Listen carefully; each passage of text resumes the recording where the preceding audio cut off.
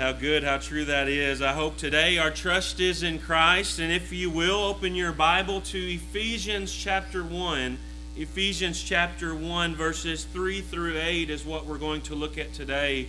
Uh, we very in depthly look at verse 3, but we'll real briefly read it again to get us context for the whole of what we're going to read today as well. You could entitle the message today, Get This, Our um, Counting Our Blessings in Christ.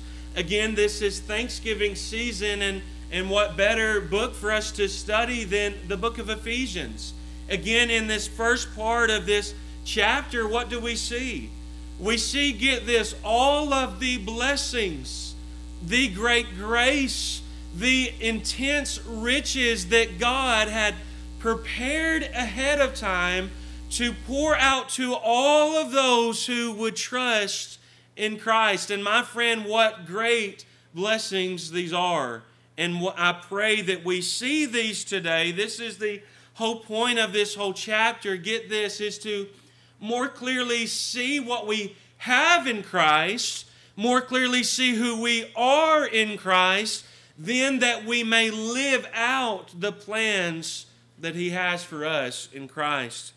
So, if you will, um, we're going to read Ephesians 1 3 through 8, and then we'll bow in a word of prayer and then jump into the text.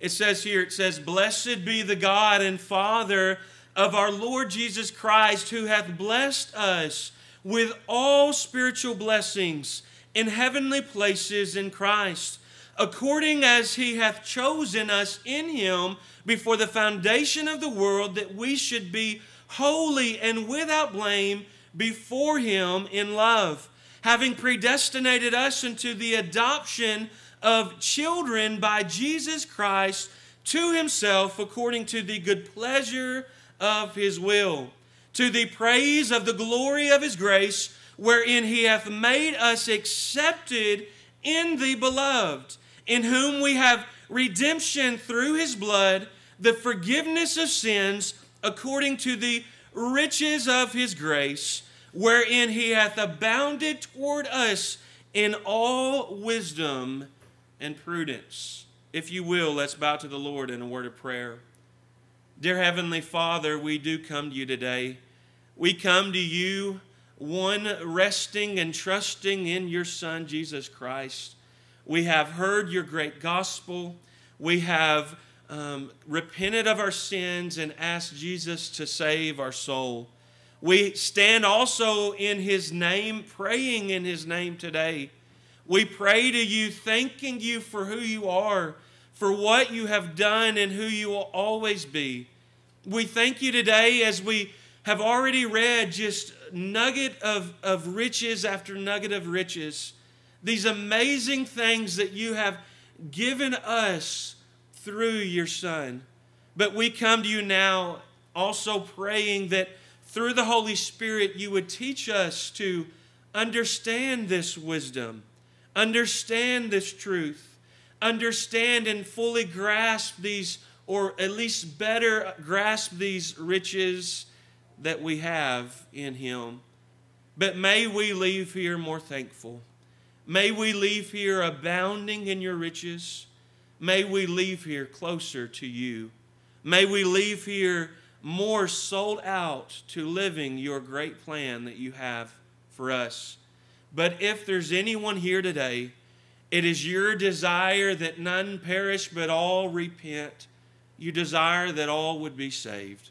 And we pray that that would happen. Please be with me in the teaching and the preaching, but again, all of us, that we would Open our understanding to see in your truth. And it is in your Son's precious name we do pray. Amen. Again, if you will, we look now at Ephesians 1. We'll go briefly back through verse 3. But remember again, as we read verse 3, know that this is the key verse for this passage. It's going to lay a groundwork that will tell you what all of the verses to follow are, are all about um, and I'll read it, but again, it will end with that phrase in Christ.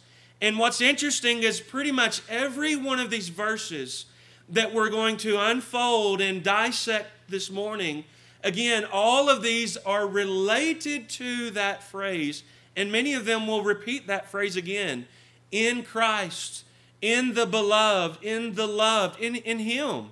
So, again, know this that all of these riches that we're going to look at today, that God had, God the Father had already planned and in store for us.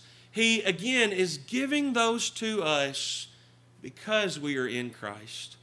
Because He has shared that great gospel, He drew us through His Holy Spirit, He convicted us, and we received Christ as Savior. And now that we are in Christ, we have been given everything. Amen. So, if you will, let's briefly look through three and then dissect the rest that is to come.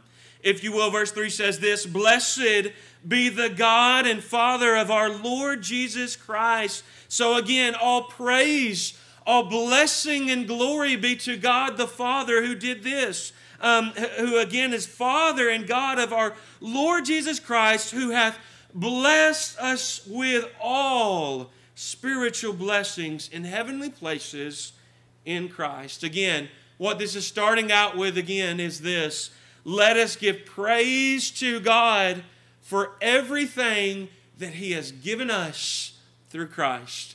And as we get this, each verse to come, as we dissect what we have been given, let us have a praising and thankful heart to God because He has freely given this of His great grace through Christ and through Christ alone. Amen? So think about this. Verse 4 now, as it says. It says, according, here's some of these, just some of these spiritual blessings that He has given you and me. One of them is this according as He, he has chosen us in Him before the foundation of the world, that we should be holy and without blame before Him in love. Think about this. What is it saying? Um, first of all, just bring this to light to begin with is that it is drawing out His plan. And we're going to have to go deeper into this in a minute because we're going to have to look at more text throughout Scripture.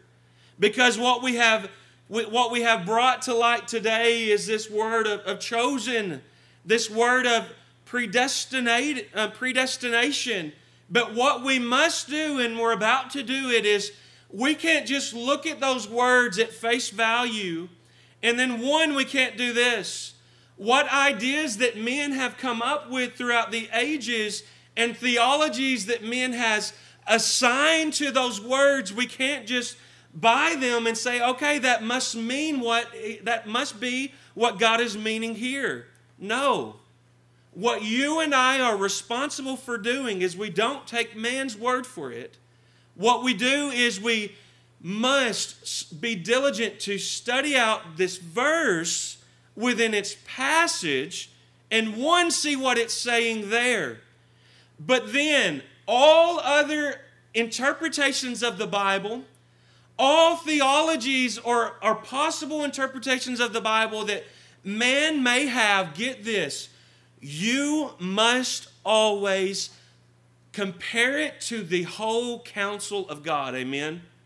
Because, my friend, if we have this word and we attribute a meaning to this word, and get this, if it goes against the rest of the nature of God that has been revealed to us throughout His whole word, then that theology is false. It must line up with what the whole of the Bible says. Amen. If God has revealed to us that, look, my desire, my will is for this. Well, if man comes along and he has a theology about a word or about a verse, and it does not line up with the revealed desire and will of God, then their theology is wrong. Amen? So, again, bear with us today as we really, again, each of these verses are packed in and of itself, but we're going to have to unfold what this word means as well. And again, you, we all have people that we love that have varying theologies, right, that may be about certain particulars in Scripture, and we love each other, but what we are held responsible to do is to study out text and, and conclude what is God actually saying and hold to that. Hold to what God is truly saying. So, one, what do we first look at at verse 4? But we're going to uh, bring these um, scriptures that I'll, I'll bring out in a minute again, seeing what the whole counsel of God has already said about his desire and will. But then also it will be related to verse 4 of chosen, but also of predestinated and what he has predestinated us unto in verse um, 5 as well. But look now, if you will, first of all, what has he chosen us unto even before the foundation of the world? Well, verse 4 of Ephesians 1 actually says, get this, that what he has chosen us unto is this, that, that we should be holy and without blame before him in love. Well, what does that mean? Get this. It is simply telling us what God's amazing plan of riches are. One, He has desired to offer salvation to all, and it will be received of all who receive Christ and who would trust in Christ. And I'm going to ask you once you have accepted Christ, do you know what happened? A lot of things happen, and we're reading them. But in this verse, what happened is this is that we have been declared holy. We have been declared blameless before God. I'm just going to tell you that is a blessing right there. That's a that's rich. Amen. That we, us that are sinners, we cannot stand and live before a holy and a righteous God. Amen. He is so righteous he is so just and he is so holy that sin cannot stand before him and that person live. Amen? We are undone before him. We're unworthy before him. We cannot live and stand before him. But get this what he has offered to you and me in Christ is that he, Jesus, would wear our sin on the cross, that he would bear our sin on the cross. He would pay that debt, God's wrath be fully satisfied, justice be fully dealt out for sin, and that get this, then we can wear the righteousness of Jesus. Amen. That's imputation. Jesus' righteousness, his blamelessness, his holiness, his perfection is imputed to you and me when we trust in Him? Amen. I'm just going to tell you, I can't pray to God, a holy God. I cannot approach His throne and I would not stand before Him and live with Him in eternity apart from me trusting in Christ. Amen. We would die. We would remain separated. We would remain spiritually dead. Amen. So I'm just going to tell you, my friend, that is one of the rich blessings right there. That we can stand before Him holy and blameless. Amen. He has forgiven all our sins, and we'll get there in a moment as well. But again, let's unpack a little bit of these ideas of chosen or, or predestinated. We'll get to verse 5 in just a minute. But there's an idea that is out there. I'll just go ahead and address it. You've probably heard it before, but again, it is it, we are responsible for again. There's going to be a lot of ideas and a lot of theologies that are out there in the world, and that there may be a lot of people that are solid on a lot of theological truths, but they may get this or that wrong. But what we are responsible for doing again is what does God say? And I've got to stick to that. So here's an idea that is out there about uh, predestination that some people would believe this. Get this that God has beforehand selected only some to receive grace, only some to trust in Christ, and only some to be saved, but that others that He has already chosen that they cannot be saved, or that they are selected for damnation, for hell. But I'm going to ask you does that line up with the rest of the clear teachings in the Bible? I'm just going to share with you this. Again, let us hear what God says And then let us wrap our understanding around this. But here's the truth my conviction is that God offers this salvation unto all who would believe. Amen? It says that whosoever shall call upon the name of the Lord shall be saved. Amen? There's just some of them, and I won't exhaust all of them. But here's one 1 Peter 1 and 2. It says this elect according to the foreknowledge of God the Father. Elect according to the foreknowledge of God the Father. So, one thing that we must bring out when we're trying to understand this word of predestination is you must realize that any election and predestination is done by this the foreknowledge of God the Father. Amen? And what is that? What is the foreknowledge of God the Father? I'm just going to tell you from the beginning of the Bible until the end, God makes it very evidently clear that He knows everything. Amen? He knows everything. He is all knowing. His knowledge is not limit is not limited. He knows everything.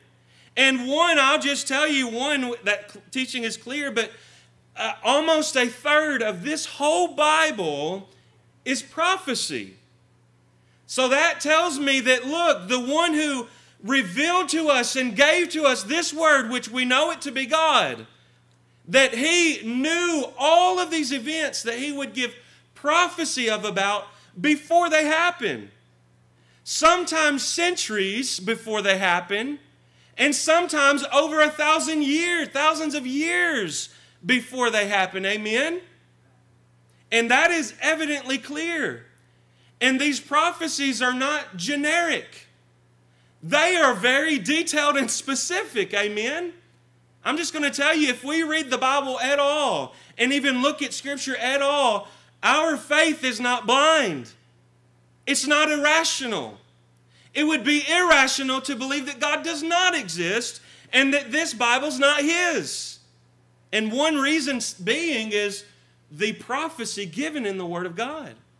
So, again, some third of this is God saying, Look, this is going to happen even before it happened. And guess what? It happens exactly how He says it's going to happen. Amen. Think about this, just bringing some remembrance back to us more about his foreknowledge. He would even tell some of his men, some of his prophets that he spoke to, I knew you before you were even born. Amen?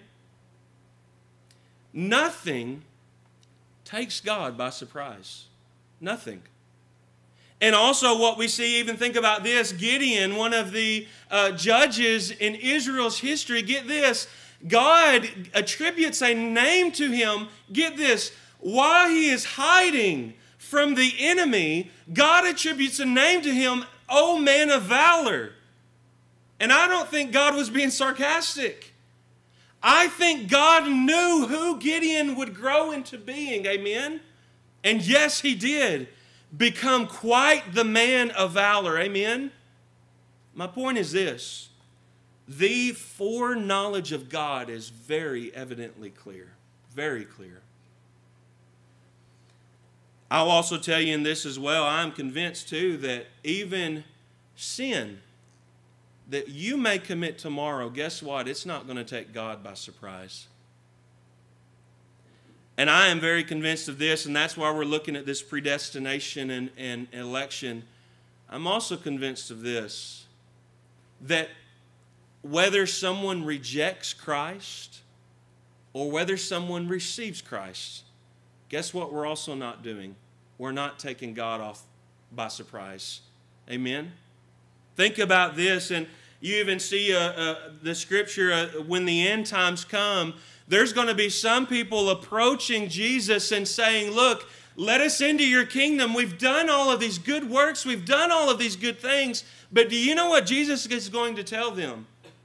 Depart from me, ye workers of iniquity, I never knew you. I never knew you.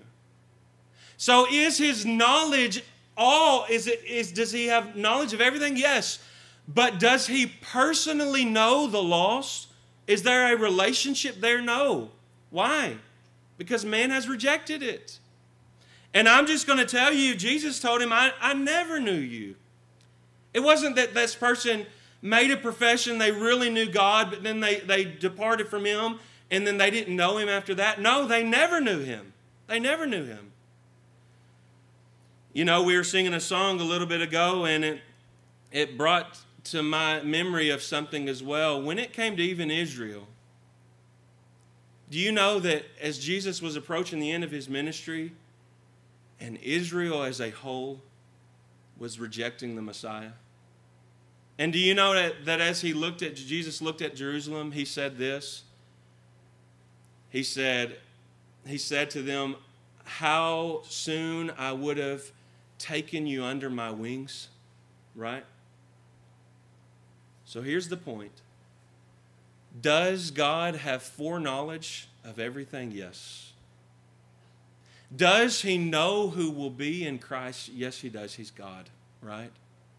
And but also this, my friend, he wants all to be saved. Just like he even looked at Jerusalem and said that statement, and he meant it.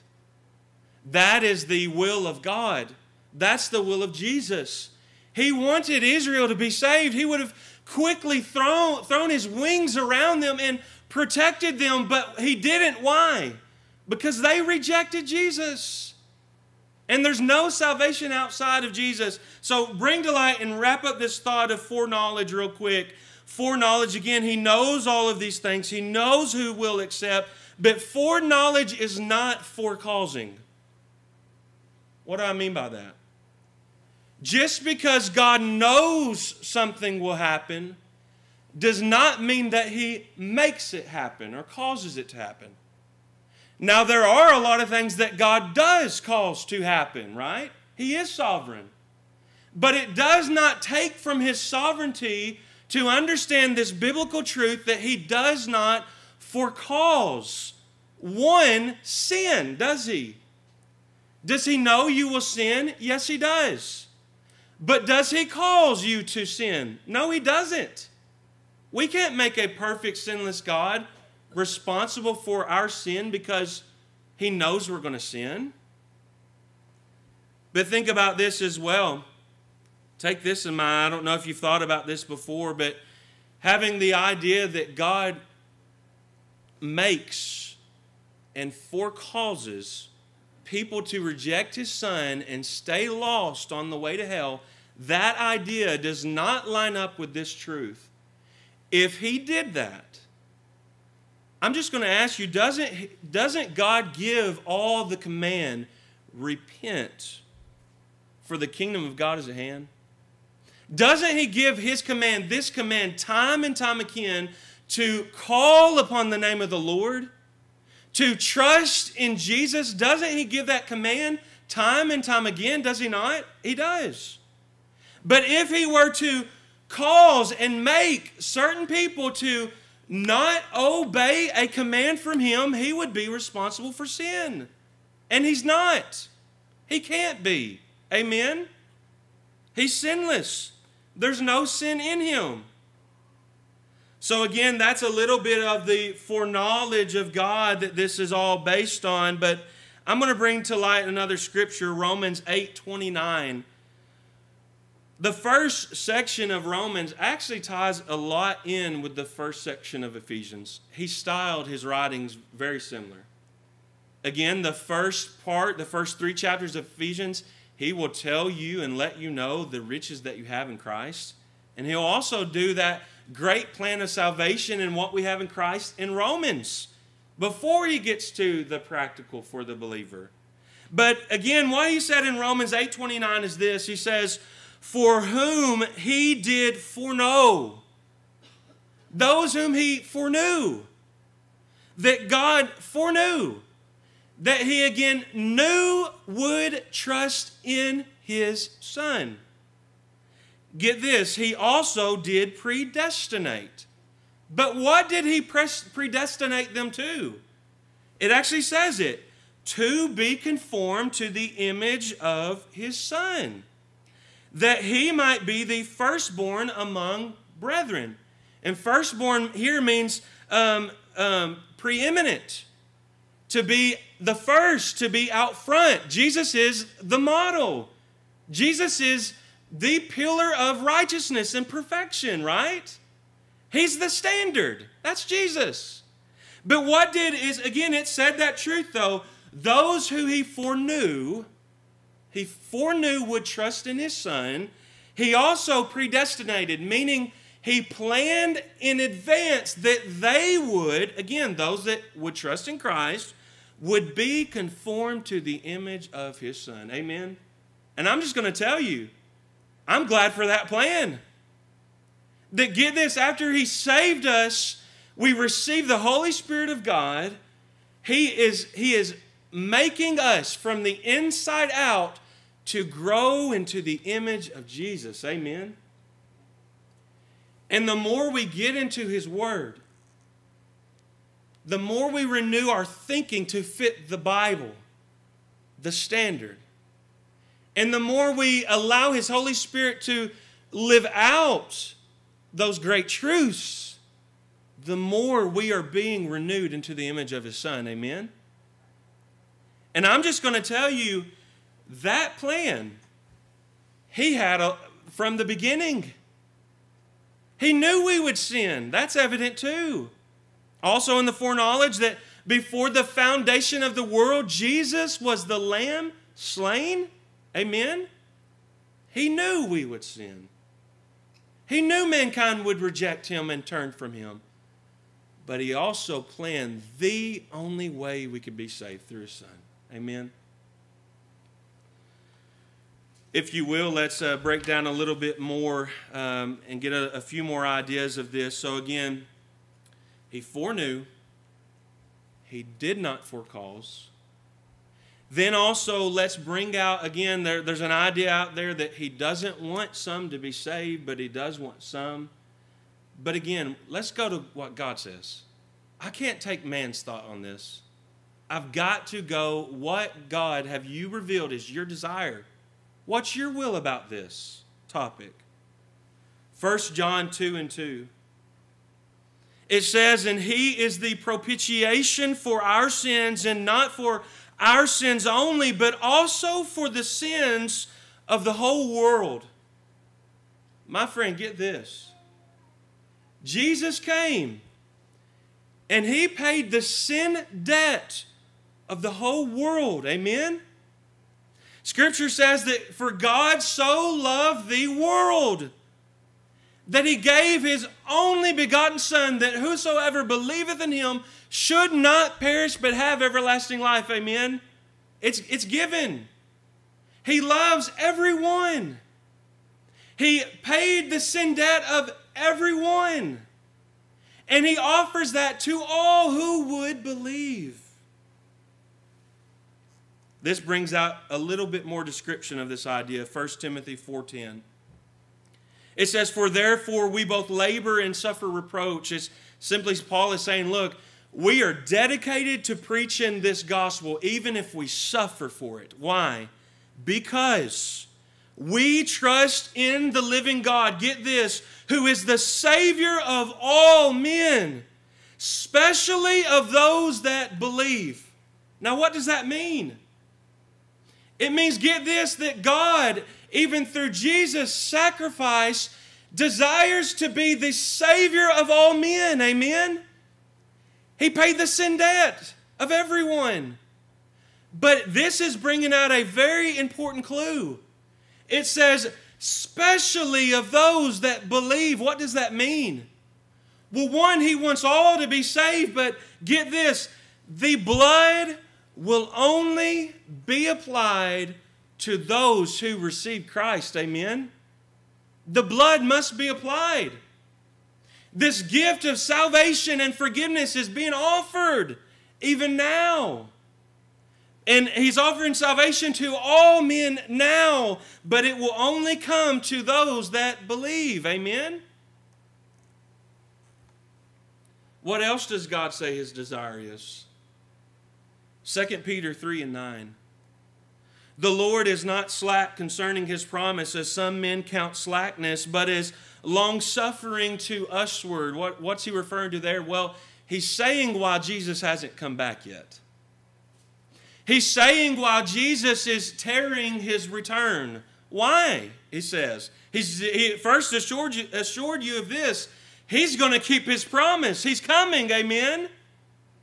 But get this, but he said he's long suffering to usward, not willing that any should perish, but that all should come to repentance. What did that say right there? It tells you what God's will is. He said, even in Jesus' return and the end of the age and the end of the opportunity for grace and salvation, he's tearing Jesus' return. Why? Because he wants no one to perish. Amen? We long for Jesus' coming and we look forward to it. But him not coming back yet shows us just how patient he is. And it reminds us this there's still more that need to be saved. Amen.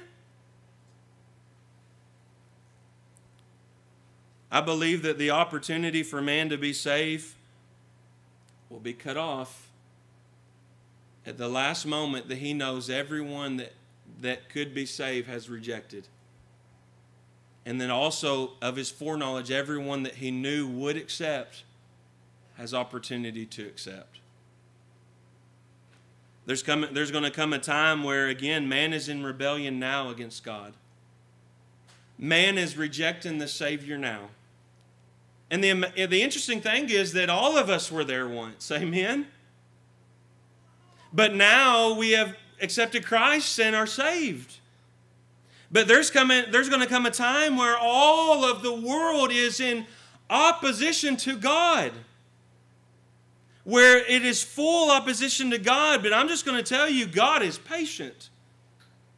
He's given all the opportunity to be saved, but why drive home that point? He is not willing that any perish, but that all should come to repentance. One more verse of Scripture teaches this same thing. Ezekiel 33 11. Ezekiel 33 11. What does God say here? Say unto them, Say unto them, As I live, saith the Lord. We better listen, amen. I don't care what man might say. It doesn't, it doesn't matter what we say, what men says. But God says this Say unto them, As I live, saith the Lord God, I have no pleasure in the death of the wicked. But get this, but that the wicked turn from his way and live. Turn ye from your evil ways, for why will ye die, O house of Israel? Amen. What did God drive home there? He says, As I live, I speak this truth. You want what God's desire is on this matter? He said it right there. He does not delight that the wicked remain in their sin and die and go to hell. That's not His will. That's not His heart. That's not His desire. What is His desire? That all would repent. Amen that none would perish, but all would repent. It is His will that you would turn from your evil way, turn back to God, trust in the only Savior, and live. Amen. I'm just going to tell you, my friend, God drives home from the beginning of the Bible unto the end His will. And our theology has to match His clear, revealed will. Amen. So, my friend, today I'll, I'll tell you God's desire, because I'm sharing what He says, is that none perish, but that all repent. Think about this. Um, so, this is what we're looking at in Ephesians, is actually written again to the saved, those who have already received Christ. And we are reading it after we have accepted Christ to see what we have in Christ. And begin, but again, he's not saying that God doesn't want that for others. I, we're not sitting here in church and thinking, well, I'm saved. This is what God's telling me I have, and He obviously doesn't want anyone else to have it. No, He does. Amen? That's why we're here to share the gospel, to let everyone know of that invitation. But Second Corinthians tells of that message that we're to take out to the lost. Again, Ephesians is telling us what we have now that we are saved, but Second Corinthians 5 is telling, telling people that are not saved yet what to do. What to do. This invitation that's being offered. So, how is God's language to those that aren't saved yet? It's this. 2 Corinthians 5:20. Now then, we as ambassadors for Christ, as though get this, as though God did beseech you by us, we pray you in Christ's stead, be ye reconciled to God. I love that. That, that verse is so rich. What that verse says right there is that, again, Paul and us as believers, God has called us to be ambassadors for Him, for the King and for the kingdom. Amen? We're ambassadors. And get this what is the King's message? The King's message is not, look, He hates the world, He doesn't want all of you to be saved. It's the opposite. He so loved the world that he gave his only begotten Son, that whosoever believes in him would not perish but have everlasting life. Amen? And what is that message right there? Again, as ambassadors of Christ, get this. He says, as though God did beseech you by us. Beseech means urge, compel, beg. What that is saying right there, look, when Paul shared the gospel, when we share the gospel, he's saying it as, as though God is urging you through us, through the gospel message. It's his message. We're just relaying it as ambassadors. But can you imagine that again? Um, it is not uh, again, people that might think that God only wants some to be saved and some not, they would also believe that it is a fixed or irresistible grace. That when the gospel is shared, they must receive it if God wants them to be saved. But here's the point get this is why are we told time and time again believe? Believe. Trust. Believe. We don't understand why some people would reject this great gospel and this salvation. I don't understand it. But I also don't understand why I, for 12 years, did. Amen? But here's the amazing thing is this is that God is saying again, it, it, sadly men can resist it. Men can say no to it. As scripture says, they love their they will sometimes love their sin so much they'll reject the Savior. There was once a time where we loved our sin so much we rejected the Savior. But think about this. What did God say? God, through the sharing of His gospel, is urging you, begging, compelling. Would you be saved? Do you realize my love for you? I know you've sinned. I know you're in rebellion against me, but I love you and I want you to be saved. Amen? It also says, here's that message even we pray you in Christ's stead. On behalf of Christ, we're urging you, be saved. But also it says, be ye reconciled to God. And this is what that reconciliation is, verse 21 of 2 Corinthians 5. For he hath made him to be sin for us who knew no sin, that we might be made the righteousness of God in him. I love that. What Paul is saying is look, God is urging each and every one of you be made right with God through Christ and Christ alone. Amen. God laid the, your sin on Jesus. He paid for the sins of the world. But get this you will only be reconciled based on what you, of your free will, choose to do with Jesus. Be reconciled. Trust in Christ.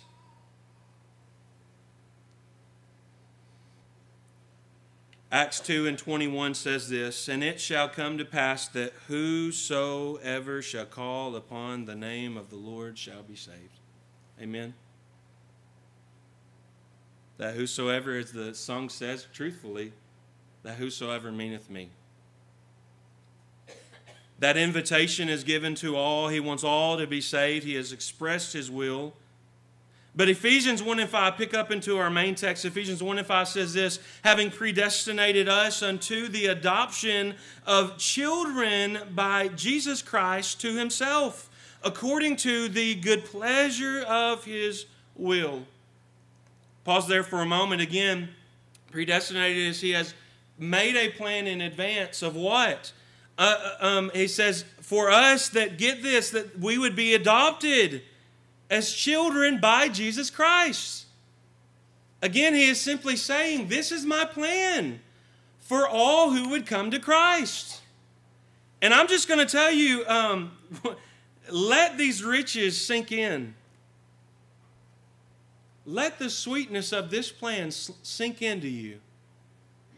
Remember earlier that we talked about believers are ambassadors for the King? Almighty God, perfect God is King. And He's sending us out, inviting all who would believe to come into the kingdom. But I'm just going to tell you, we don't just get to come into the kingdom. As it says here, it has been planned that all who would believe in Christ would be adopted as children God. Amen? Think about this. Our standing before God was we were at enmity. We had rejected Him. Can you imagine that? King, creator of everything, even of us, we rejected Him. We stood in opposition to His kingdom. We stood in opposition of His way of kingdom living. We rejected it and was doing life in sin, right? But can you imagine that the king loved us so much that he gave his son to die for us that we could be saved, that we could actually come into his kingdom? But get this, he didn't just show us mercy and say, I'm not going to kill you. We deserve death. That was the wages of our sin, amen? But get this, he didn't just stop at mercy. He didn't just say, I'm going to withhold the judgment that you deserve he went further and, and poured out grace. Amen? Us who were once in opposition to the king, he's poured out grace. And we're studying about some of that grace now. And again, I'm just going to tell you part of that grace. Again, we should just be glad, God, you didn't kill me. God, you didn't send me again to hell, an eternal separation from you because of my sin, or that you have not allowed me to come to you and, and live in relationship with you now. So again, it wasn't just mercy, it was this. He's invited you into his family. Amen? And what an honor that is. And again, what does it say though? It was all by Christ. It was all through Christ. We didn't deserve it. We weren't just a little bit better than whoever else. No, we trusted Christ. And get this, it said, according to the good pleasure of his will. My friend, it was a joy for God to offer you that. Amen. It's not his delight that sinners stay in sin and, and die and go to hell. Not his delight. But it is his delight to offer this grace to all who would receive it. Amen. And what a great delight it is. Again, God's not just looking at, at us and His children and just saying, You are a mess. I, I can't believe I invited you into the family. He is working on us. He's given us a new heart. He's conforming us day after day into the image of His Son. But here's the point we stand before Him as His children. Amen? And He loves His children. He chastens His children because He loves them.